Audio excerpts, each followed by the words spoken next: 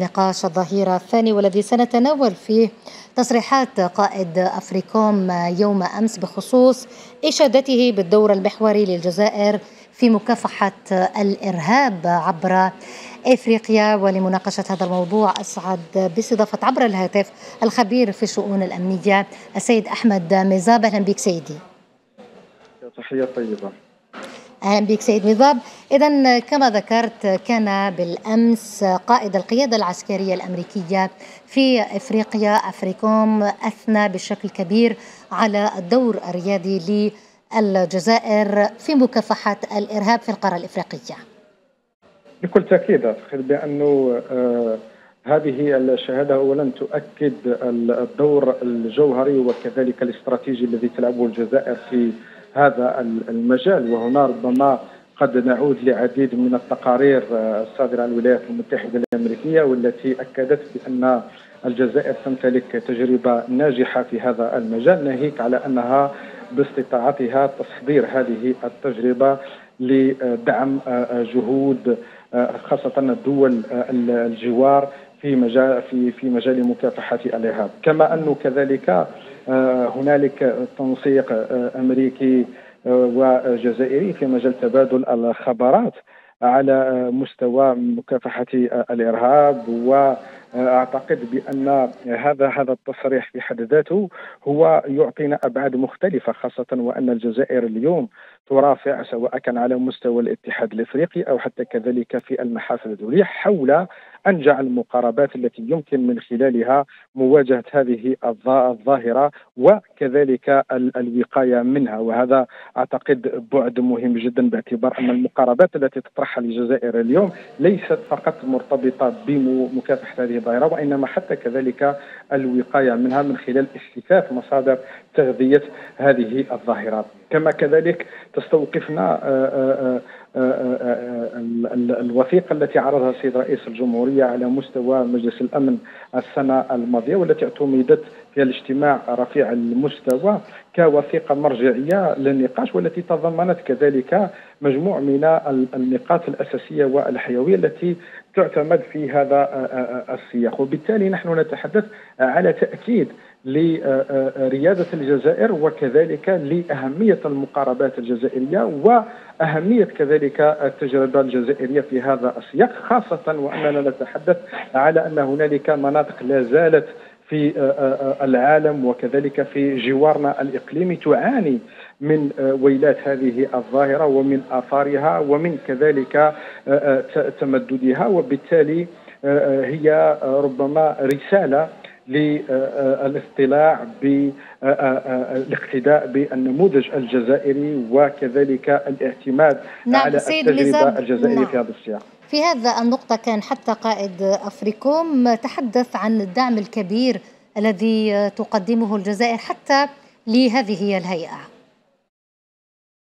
بكل تأكيد قلت أنا ربما هنالك ما يعرف بتبادل الخبرات وكذلك التحليل ورأينا زيارات سابقة في هذا السياق في إطار تبادل وجهات النظر وكذلك تحليل الأوضاع الإقليمية وكذلك التحديات الأمنية بما يتماشى و مجابهة هذه الظاهرة وكذلك آه، بناء تطورات نافعه لمواجهة هذه الظاهرة وهذا ما يتجلى من خلال الزيارات المكوكية التي تعرفها الجزائر أو من خلال كذلك التنسيق المشترك وكذلك التعاون في إطار هذا المجال. نعم هناك أيضا نقطة تحدث آه، قائد أفريكوم عن مخاوف مشتركة آه، مع الجزائر بخصوص توسع هذه التنظيمات الإرهابية خاصة على مستوى الساحل. بكل تاكيد اولا خليني نقول اولا نحن نتكلم على ظاهرة ليست ثابتة وليست كذلك تلك الظاهرة التقليدية والكلاسيكية، نحن نتحدث على ظاهرة تتطور وتنمو وتتمدد وتتغذى من اتساع دائرة الصراعات والأزمات، فكلما كان هنالك اتساع لدائرة الصراعات والأزمات كلما كان هنالك حظوظ آه، آه، لتمدد هذه الظاهرة ولتوغل هذه الظاهرة باعتبار أنها تتغذى من حالة الأزمات ومن حالة التفكك ومن حالة غياب مفهوم الدولة. ولدينا نماذج عديدة في هذا السياق وهو ما هو حاصل. في ظل تنامي الأزمات اليوم خاصة في منطقة الساحل الإفريقي نحن نتحدث على تزايد هذا التهديد وتمدد هذا التهديد الذي أصبح حيوي وأصبح كذلك يشكل خطر على مفهوم الدولة وعلى مفهوم كذلك الاستقرار الإقليمي. ورأينا في السنوات الأخيرة في ظل الأزمات التي تعرفها المنطقة كيف تحولت الظاهره الإرهابية التي أصبحت تضرب في العمق وأصبحت كذلك تستخدم أدوات تكتيكية وأصبحت كذلك تخدم معدات وأسلحة قد تكون كذلك نوعية وكذلك تستفيد من من بيئة الصراع من خلال اولا التجنيد من خلال كذلك تحويل البيئة إلى بيئة حاضنة من خلال كذلك ضرب المقومات الحيوية للدول. وعلى هذا الأساس أعتقد بأنه من الضروري أن يكون هنالك تنبيه إلى تنامي خطورة هذه الظاهرة وإلى تمدد كذلك هذه الظاهرة وضرورة أن يكون هنالك تبني أنجع الآليات والأدوات للمجابهة ولكذلك الحد من مخاطر انتشار هذه الظاهرة بمختلف أشكالها وبمختلف كذلك أوجهها ولكن هذا لا يتم إلا من خلال انخراط المجتمع الدولي والالتزام الدولي في إطار مجابهة هذه الظاهرة. لا ننسى الجزائر كانت ترافع من أجل قانون دولي متعلق بمعاقبة أو تجريم تمويل الجماعات الإرهابية أو دفع الفدية للجماعات الإرهابية، لكن للأسف هنالك دول لا زالت تدفع الفدية للجماعات الإرهابية وهذا يشكل مصدر من مصادر التمويل. الجزائر مفاتئة كذلك تتحدث على التحالف العضوي ما بين الجريمة المنظمة والظاهرة الإرهابية خاصة فيما يتعلق بالاتجار بالمخدرات وغيرها، للأسف نحن نسجل على المستوى الدولي ارتفاع غير مسبوق في آه، الاتجار بهذه السموم التي أصبحت تهدد حتى كذلك استقرار الدول والمجتمعات.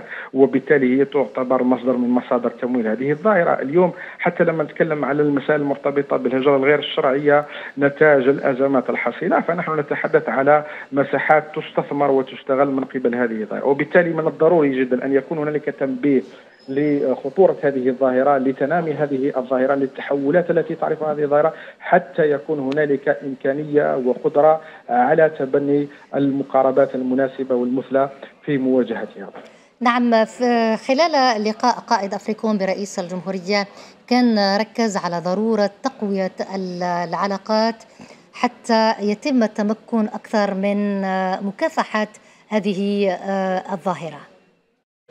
بكل تأكيد أعتقد بأنه تكثيف التنسيق تكثيف آه، تبادل وجهات النظر العمل المشترك هو يسهم بكل آه، حال من الأحوال على آه، التعاون وعلى كذلك إمكانية مواجهة هذه الظاهرة، لكن الشرط الأساسي هو أن تكون التصورات موحدة في آليات وكيفية معالجة هذه الظاهرة. قلنا منذ قليل بأن الأزمات تسهم في تنامي هذه الظاهرة. التدخلات الخارجية تسهم في تنامي هذه الظاهرة. عسكرة المنطقة يسهم في تنامي هذه الظاهرة. بالتالي إذا كانت هناك تصورات موحدة يمكن أن يكون هنالك تحقيق الفرق. الجزائر دائما تتحدث على التصور المشترك في مجابهة هذه المسائل خاصة في إطار توحيد المفاهيم لأنه آه، آه، مفهوم الإرهاب ليس آه، مزاجي وليس كذلك حسب الظروف أو حسب الوضعيات وإنما انما هو مفهوم يجب أن يكون واضح ثابت متفق عليه ومعترف به لدى الجميع حتى نتمكن من بناء التصورات الناجحة للمجابهة وكذلك للتصدي.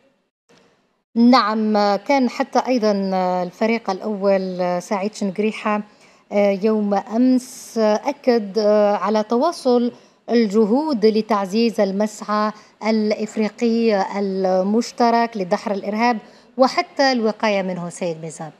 بكل تأكيد نحن دائما الجزائر هي تعول على المقاربة الأفريقية وتعول كذلك على المقاربة الإقليمية لمجابهة هذه الظاهرة. وراينا المقاربات التي طرحتها الجزائر في الاتحاد الإفريقي وكذلك إدراج مجموع من التوصيات التي اعتمدت في هذا السياق وكذلك الجهود التي تبذل سواء كان في إطار سيموك في إطار كذلك ال ال ال الورشات وكذلك الطرح الذي تشتغل عليه الجزائر في حشد الجهود القارة الإفريقية لتوحيد الرؤى وكذلك الجهود لتبني تصور موحد وكذلك مقاربات موحدة لأنه لا يمكن لنا اليوم أن نتحدث على ظاهرة عابرة للحدود أن يتم مجابهتها بشكل فردي أو بشكل كذلك محدود بقدر ما أنه يجب أن يكون هنالك تعاون وتنسيق وتبني كذلك تصورات مشتركة حتى نستطيع أن نحقق الفاعلية في القضاء على هذه الظاهرة لأنه التصور الجزائري ليس فقط المواجهة أو أو أو أو الحد من مخاطر هذه الظاهرة بقدر ما أنه نتحدث على اجتثاث هذه الظاهرة من جذورها من خلال محاربة المسببات التي تؤدي إلى آه، نشوء هذه الظاهرة. نعم هناك أيضا آه، العديد من المبادرات الإفريقية التي تسعى دائما لتحقيق الأمن في المنطقة ودائما الجزائر تدعم مثل هكذا مبادرات.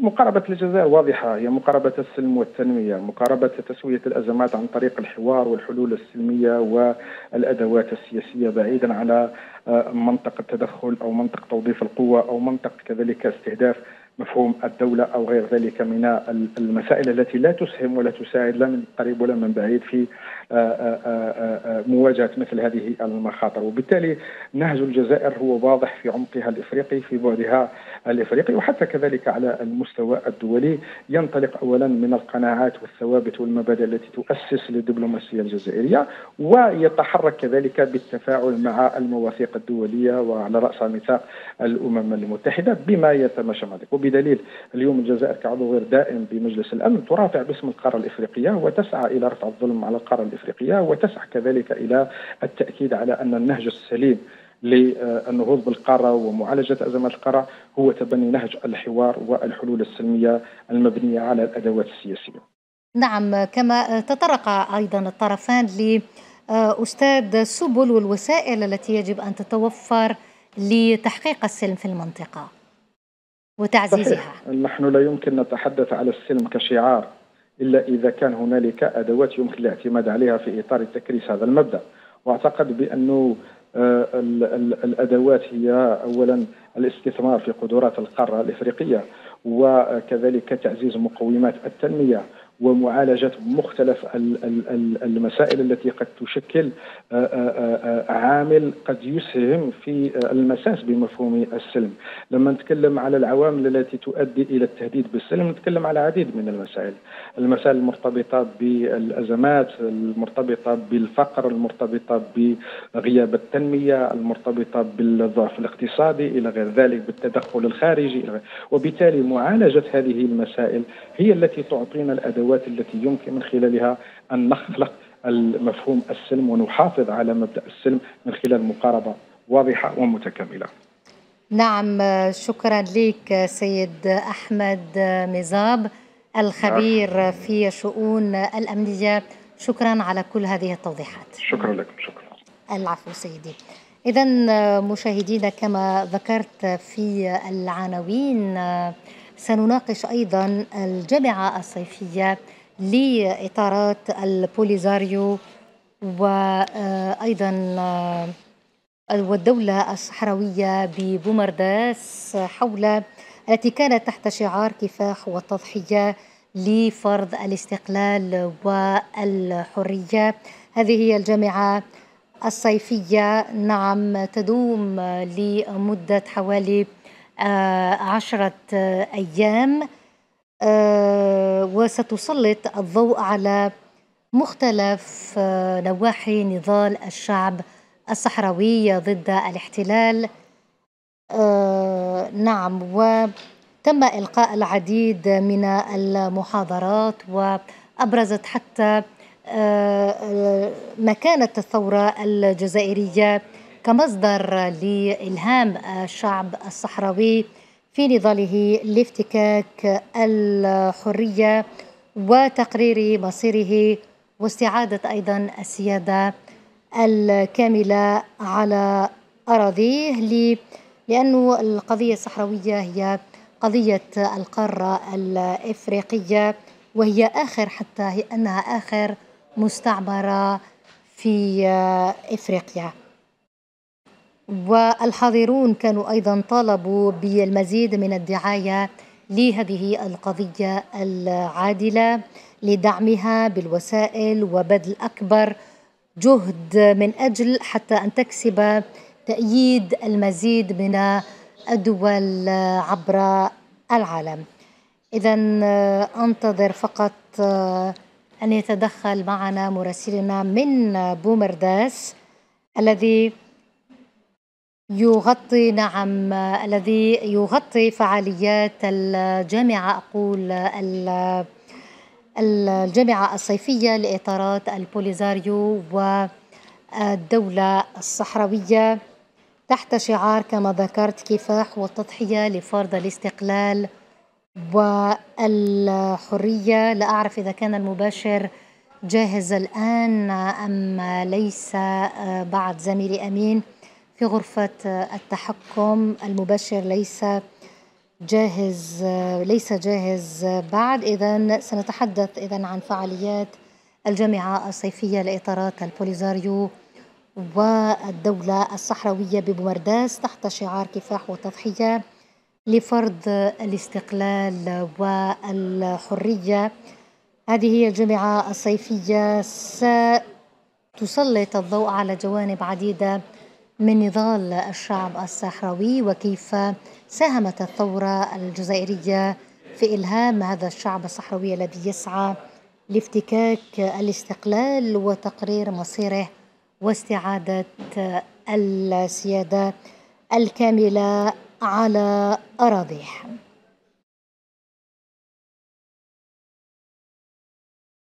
إذا الجامعة الصيفية شملت أيضا محاضرات حول التغيرات الدولية والإقليمية والأخيرة وأيضا ما يحدث في الساحل والصحراء وتأثيرها على المنطقة وأيضا التحولات العربية وتداعياتها على القضيتين الصحراوية والفلسطينية.